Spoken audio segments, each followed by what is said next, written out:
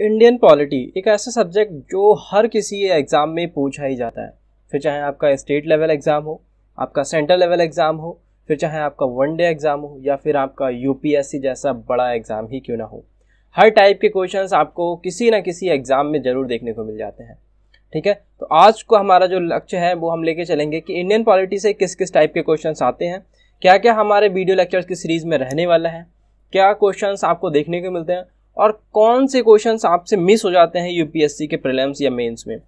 क्योंकि कॉन्सेप्ट को समझने से पहले आपको उनकी बारीकियों को समझना ज़रूरी होता है, क्योंकि कौन सा कंटेंट आपके लिए इंपॉर्टेंट है और कौन सा कंटेंट आपके लिए इंपॉर्टेंट नहीं है, ये छोड़ना सबसे लिए आपके लिए इंपॉर्टेंट है। जब तक कि आपको इसकी जानकारी नहीं है, आप कोई भी सब्जेक्ट पढ़ लीजिए, आपका सब वेस्टेज ही हो जाएगा। तो चलिए शुरू करते हैं। आपका स्वागत है हमारे यूट्यूब चैनल फोकस बितस में। आप इसको लाइक कर दीजिए अभी वीडियो को और हमारे चैनल को सब्सक्राइब कर लीजिए, ताकि आने वाले जितने भी लेटेस्ट वीडियोज़ हैं, उनकी नोटिफिकेशन आपको सबसे पहले मिल जाए। ठीक है? और नीचे डिस्क्रिप्शन बॉक्स में एक लिंक दे रखा है टेलीग्राम का, एक व्हाट्सएप का ग्रुप का लिंक दे रखा है, उसको ज्वाइन कर लीजिए, ताकि जितनी भी पी डी हो, जितनी भी क्यूरी हो, आप हमसे व्हाट्सएप ग्रुप पे चैट कर सकते हैं। टेलीग्राम पे आपको पी डी अवेलेबल हो जाएँगी और आपकी जितनी भी नोटिफिकेशन है, वो आपको मिल जाएँगे। ठीक है? और बाकी चीज़ें भी आपको धीरे धीरे समझ में आएँगी। जैसे अभी हम पॉलिटी शुरू कर रहे हैं, फिर धीरे धीरे हम शुरू करेंगे आपकी हिस्ट्री, जियोग्राफी और आपकी अदर सब्जेक्ट भी हम आपके लेके चलेंगे। मेनली हमारा जो फोकस रहेगा वो यूपीएससी प्रीलिम्स पे रहेगा। चूँकि डेट जो है 27 जून 2021 थी, लेकिन अब इसको पोस्टपेन कर दिया गया, एक्सटेंड कर दिया गया थोड़ा सा और ये किया जा चुका है 10 अक्टूबर 2021 ठीक 2020 में भी ऐसा ही हुआ था 2021 में। ठीक है? तो इसलिए इसलिए आपको समझ कर चलना होगा कि किस टाइप के क्वेश्चन आपको मिलते हैं। आपको बहुत ही अच्छा चांस मिला है कि आप अच्छे से बेटर तरीके से अपने जो भी सब्जेक्ट आपके इनकम्प्लीट हैं, उनको कंप्लीट कर पाएँ। ठीक है? तो चलिए शुरू कर रहे हैं। तो यहाँ पे सबसे पहले मैं रिक्वेस्ट करूँगा आपसे कि जो भी स्टूडेंट्स या जो भी लोग बाहर जा रहे हैं प्लीज़ अपने साथ साथ दूसरों को भी मास्क पहनने की सलाह दें। और आप भी मास्क पहने। जिससे इस सेकेंड वेव को ज़्यादा से ज़्यादा कम किया जा सके और थर्ड वेब से बचा जा सके। क्योंकि थर्ड वेब ना आ पाए, इसके लिए हमें प्रोटेक्शन करना बहुत ज़रूरी है। पहले हैंड सैनिटाइज करना, यानी वॉश करना, दूसरा हमें मास्क लगाना और घर वालों की देख रेख करना, ठीक है? ये वही टाइम है जो आप अपने घर वालों के साथ स्पेंड कर सकते हैं। तो चलिए शुरू कर रहे हैं अपना वीडियो तो इंडियन पॉलिटी में किस किस टाइप के क्वेश्चन पूछे जाते हैं?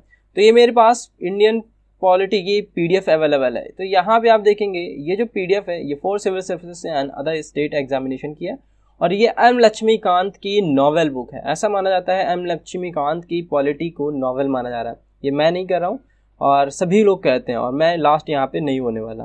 यानी इंडियन पॉलिटी सिर्फ़ अभी नहीं, आगे भी कई सालों तक, कई क्या सालों तक, जब तक कि यूपीएससी सिविल सर्विसेज़ में रहेगा, तब तक तब तक ये चलती रहेगी। बिकॉज़ क्यों? इसका एक रीज़न है। क्योंकि पॉलिटी जो बनी है एम लक्ष्मीकांत की, वो सीधे ही कॉन्स्टिट्यूशन के बेस पर बनी है। और कॉन्स्टिट्यूशन जब तक चलेगा, जब तक कि हमारा देश चलेगा। और जब तक देश चलेगा, तब तक आपकी सिविल सर्विसेज़ चलती रहेगी। ठीक है? तो इस, ये जो नया न्यूली एडिशन है, इसकी पीडीएफ आपको नीचे डिस्क्रिप्शन बॉक्स में आपको मिल जाएगी। ठीक है? वहाँ से आप डाउनलोड कर सकते हैं टेलीग्राम से आप डाउनलोड कर सकते हैं, और साथ ही साथ आप व्हाट्सएप ग्रुप से भी डाउनलोड कर सकते हैं।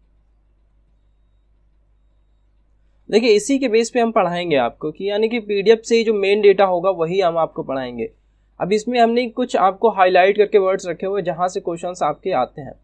तो एम लक्ष्मीकांत के बारे में इतना फ़ेमस क्यों है ये एम लक्ष्मीकांत जी? ऐसा क्यों है इनके बारे में? तो यहाँ पे आप देख सकते हैं about the author M Laxmikanth obtained this post graduate degree in political science from Osmania University in eighteen nine eighty nine nineteen eighty nine तो इन्होंने पॉलिटिकल साइंस पर ही अपनी पोस्ट ग्रेजुएट डिग्री की है। इसीलिए इनको एक तरीके से नॉवल माना जाता है, कॉन्स्टिट्यूशन का। ठीक है? मेन हमारा कंटेंट क्या रहेगा, वो हम आपको बताने वाले हैं। तो सबसे पहले यहाँ पे देखिए ईयर वाइज आपका ब्रेकअप दे रखा है UPSC questions on Indian polity general study prelims यानी कि जो जीएस का पेपर फ़र्स्ट होता है प्रिलिम्स के अंदर, उसमें किस किस टाइप के आपके क्वेश्चंस पूछे जाते हैं। तो यहाँ पे अगर देख पा रहे हैं आप तो टू टू थाउज़ेंड से आपके सारे डेटा दे रखे हैं यहाँ पे। तो यहाँ पे देखिए twelve twelve twelve nineteen nineteen nineteen and two thousand four में ट्वेंटी टू क्वेश्चन ठीक, इसी तरह से अगर मैं आपके four to five year last देखूँ तो मुझे समझ में आता है।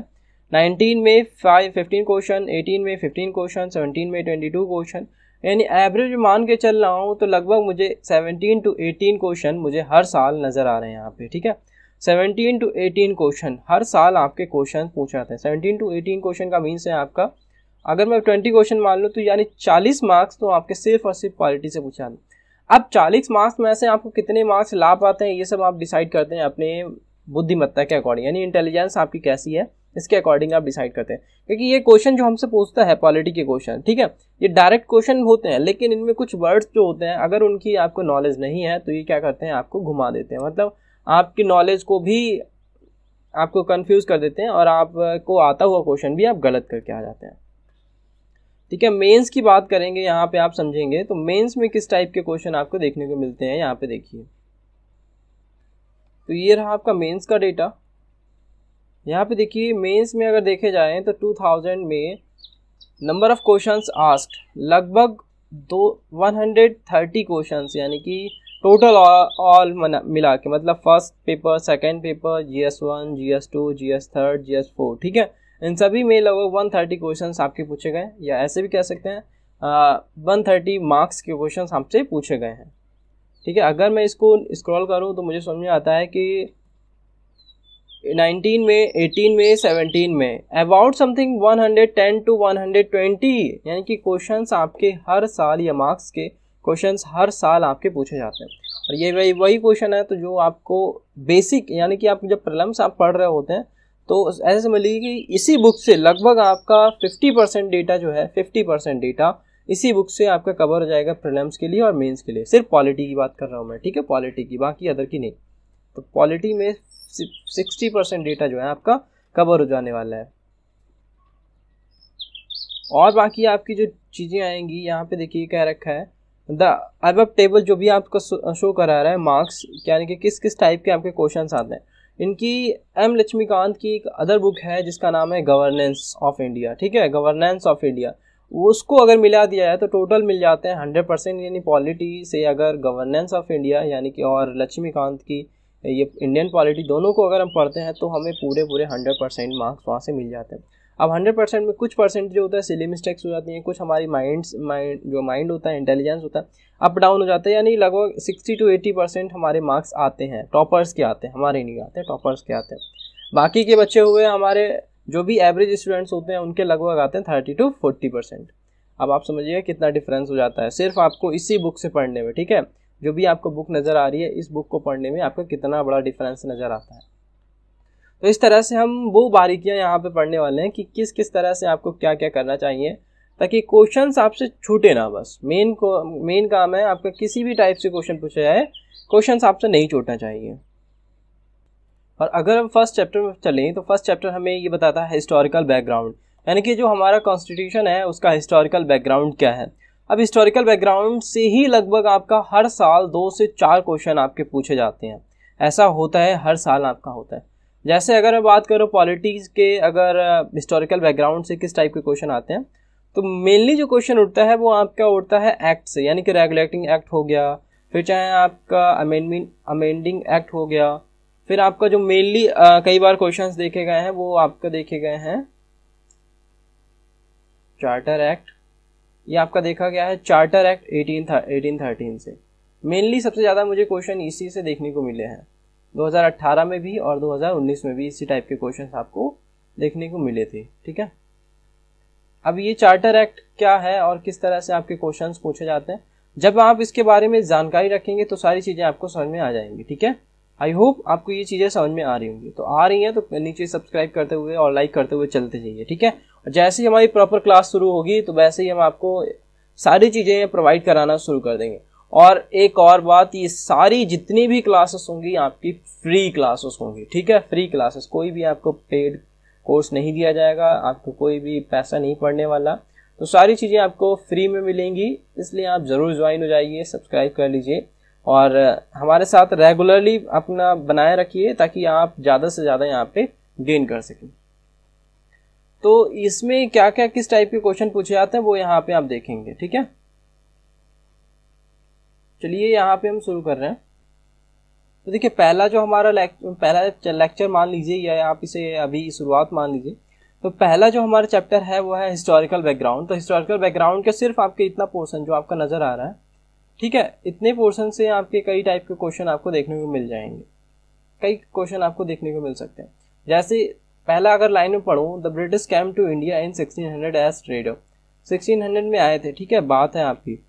कौन सा अब देखिए, जब ब्रिटिश ब्रिटिशर यहाँ पे आए थे तो मेनली बहुत सारे स्टूडेंट्स ये सोचेंगे, वो ट्रेडर आए थे, यानी कि किसी ना किसी बैकग्राउंड से तो आए थे, लेकिन एक प्राइवेट एंटिटी यहाँ पे एंटर की थी, ठीक है, जो कोचिन में मानी जाती है। तो प्राइवेट एंटिटी के तौर पे इन लोगों ने यहाँ पे एंट्री की थी, लेकिन ऐसा नहीं है, ठीक है। आए तो प्राइवेट एंटिटी के तौर पर थे, लेकिन एक पॉइंट इसमें छुपा हुआ है कि यहाँ पे जो लोग आए थे वो एक परमिशन लेके आए थे, वो परमिशन थी क्वीन एलिजाबेथ फ़र्स्ट यानी कि क्वीन एलिजाबेथ फ़र्स्ट के अकॉर्डिंग एक परमिशन थी, और परमिशन थी कि ये सिर्फ़ यहाँ पे आई थिंक सिक्स ईयर तक यहाँ पे केवल ट्रेड करेंगे। केवल छह साल तक ये ट्रेड करेंगे। उसके बाद इसको इन्फिनिट टाइम के लिए एक्सटेंड कर दिया गया था। वो भी हम जब हिस्ट्री पढ़ेंगे तो इसमें बहुत अच्छे से डिस्क्राइब करके रखा हुआ है। आपकी स्पेक्ट्रम हम पढ़ेंगे, आपकी मॉडर्न इंडिया यानी कि a brief introduction of the modern India history Bipin Chandra के अकॉर्डिंग तो उसमें अच्छे से डिस्क्राइब करके रखा हुआ है कि क्वीन एलिजाबेथ के फ़र्स्ट के दौरान जो लोग आए थे, वो अंडर तो क्वीन एलिजाबेथ के ही थे, ठीक है? काम क्वीन एलिजाबेथ के ही कर रहे थे। क्वीन एलिजाबेथ के मतलब गवर्नर यानी कि गवर्नमेंट के अंदर ही कर रहे थे। बाकी कुछ परमिशन या कुछ छूट इनको अवेलेबल थी कि कुछ पैसा वहाँ पे देना पड़ता था, बाकी अपनी मनमर्जी यहाँ पे चलाते थे। ठीक तो उसी ड्यूरेशन में क्या है? क्वीन एलिजाबेथ यहाँ पे हुआ करती थी क्वीन एलिजाबेथ और ये बात है सेवनटीन की। देखिए 1600 में यहाँ ये लोग आ गए थे। उसके बाद क्या हुआ?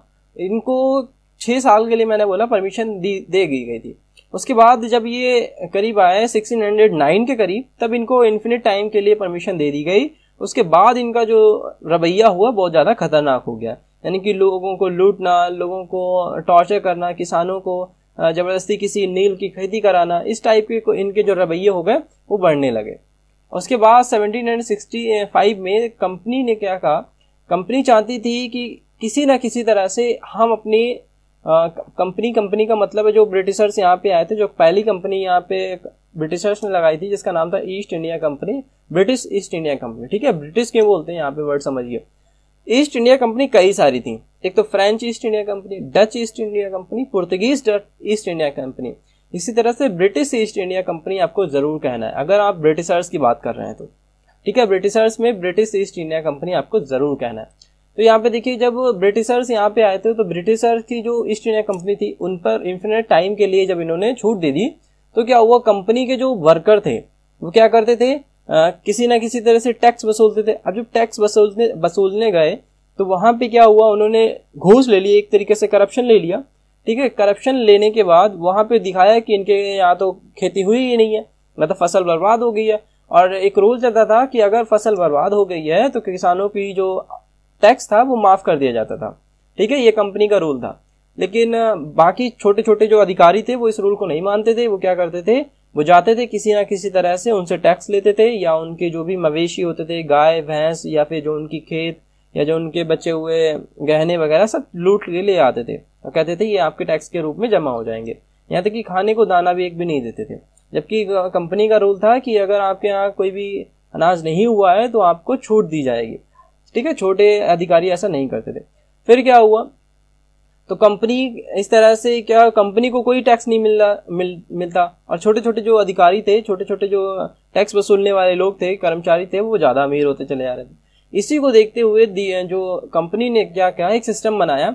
जिसको उन्होंने क्या क्या, अब डायरेक्ट ही हम लोगों से अपना रेवेन्यू वसूलेंगे।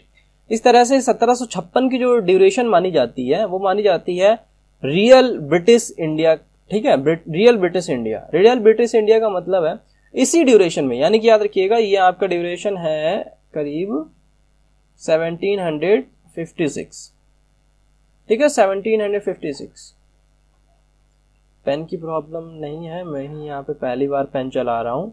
वैसे तो मैं बोर्ड पे पढ़ाता हूँ। ठीक है? 1756 की ड्यूरेशन है, जिसमें रियल क्या जब प्लासी का युद्ध हुआ था तो प्लासी का युद्ध जो स्पेक्ट्रम पढ़ाऊँगा तो उसमें अच्छे से समझाऊँगा। तो जो प्लासी का युद्ध हुआ था, उसके बाद से माना जाता है ब्रिटिश ने रियल रियली में पॉलिटिकल यहाँ पे एजेंडा खेलना शुरू किया। ठीक है?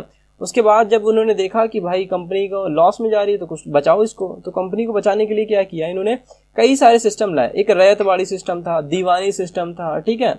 और दो तीन सिस्टम थे, उनको लाना यहाँ पे शुरू कर दिया। तो उसी में एक यहाँ पे यहाँ पे दे रखा है दीवानी सिस्टम यहाँ पे आप देख सकते हैं, दीवानी। अब दीवानी सिस्टम में क्या था? जो भी राइट्स थे रेवेन्यू और रेवेन्यू वसूलने के और सोशल जस्टिस के, वो दे दिए गए एक गवर्नर को, ठीक है? और जो गवर्नर का बंगाल था सॉरी बंगाल का गवर्नर था, उसको दे दिए गए। अब बंगाल, इसमें तीन आपके प्रोविनेंस लिए गए। पहला था आपका बंगाल, दूसरा था बिहार, तीसरा था उड़ीसा क्योंकि बंगाल, बिहार उड़ीसा लगभग आपस में जुड़े हुए थे तो इसीलिए इन तीनों प्रोविनेंस प्रोविनेंस को दे दिया गया गवर्नर ऑफ़ बंगाल को। कि भाई, दीवानी आप करोगे, इसका मतलब रेवेन्यू इकट्ठा करोगे, और उसके बाद कोई भी अगर सिविल या फिर कोई भी प्रॉब्लम होती है तो आप यहाँ पे दोगे। ठीक है this started its career as a territorial power अब यहीं पे टेरिटोरियल पावर स्टार्ट हो गए in 1858 in the back of sepoy mutiny the British crown assume direct responsibility for the governance of India उसके बाद क्या हुआ? जब आप जानते हैं, अठारह का जब युद्ध हुआ, ठीक है?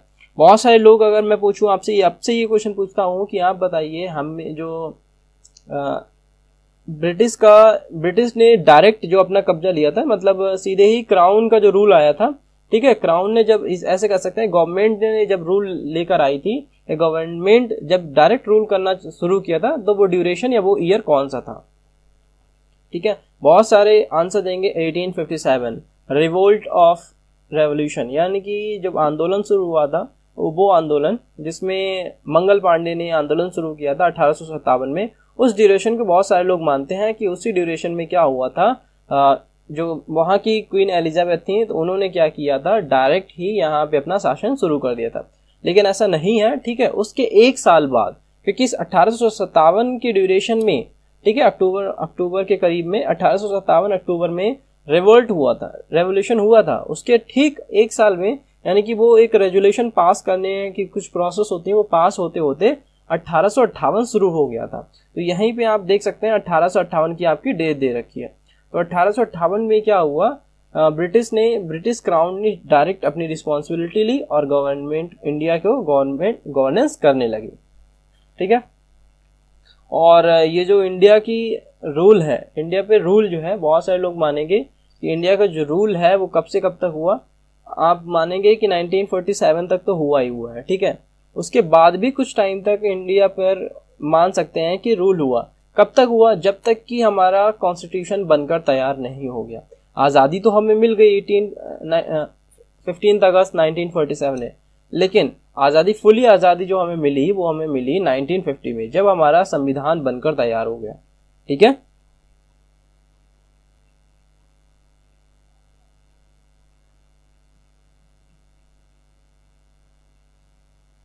तो इस तरह से जब हम देखेंगे with independence came to need to for a constitution जब कॉन्स्टिट्यूशन की ज़रूरत हुई हमें तो उसी ड्यूरेशन में जो हमारा पहला हिस्टोरिकल पॉइंट है, उसमें हम देखेंगे क्या?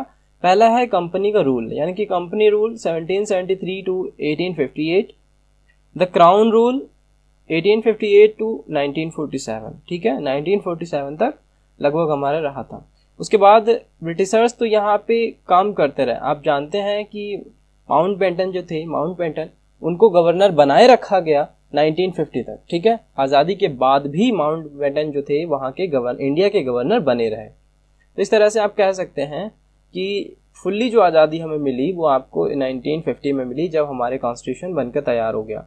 अब क्योंकि कॉन्स्टिट्यूशन जब बना तो उसमें कुछ पॉइंट थे की पॉइंट थे, जिन्हें आप समझिए, आप अगर आपको समझ में आ गया, तब आप जानेंगे कि ऐसा मैं क्यों बोल रहा हूँ फुली आज़ादी। क्योंकि जब हमारा कॉन्स्टिट्यूशन बना तो उसमें हमारा एक प्रियम्बल ऐड किया गया और प्रियम्बल में कुछ वर्ड्स हैं, जैसे सॉवर्निटी है, समृद्धता है, ठीक है? हिंदी में बहुत कम पता है मुझे। तो सॉवर्निटी है तो यूनिटी है। तो इस तरह से जो वर्ड है, उसमें वर्ड में क्या है? सॉबरन है। सॉबरन का मतलब है, यानी सॉवर्निटी तो सॉबरन का मतलब है, हमारा जो देश है, वो सिर्फ़ और सिर्फ़ हमारे ही रूल्स पर चलेगा, यानी कि जनता के रूल्स पर चलेगा। और कोई भी बाहर की एलाइट पावर यानी बाहर की कोई भी अलाइड पावर ना हम पे ऑर्डर कर सकती है, ना ही हम पे कमांड कर सकती है, ना ही हम किसी दूसरी एलाइड पावर के अंडर में रह सकते हैं, ठीक है? तो इसका मतलब है, अब हम पूरी तरह से किसी भी दूसरी पावर से आज़ाद थे, ठीक है? तो इसीलिए मैं बोल रहा हूँ, जब कॉन्स्टिट्यूशन हमारा आया तो क्या क्या मेन की पॉइंट्स हमारे आए। तो इस तरह से हम यहाँ पे कंपनी का रूल देखेंगे, फिर उसके बाद क्राउन रूल देखेंगे, बाकी आपका इंपॉर्टेंट जो भी पॉइंट होंगे, उसको हम यहाँ पे समझेंगे।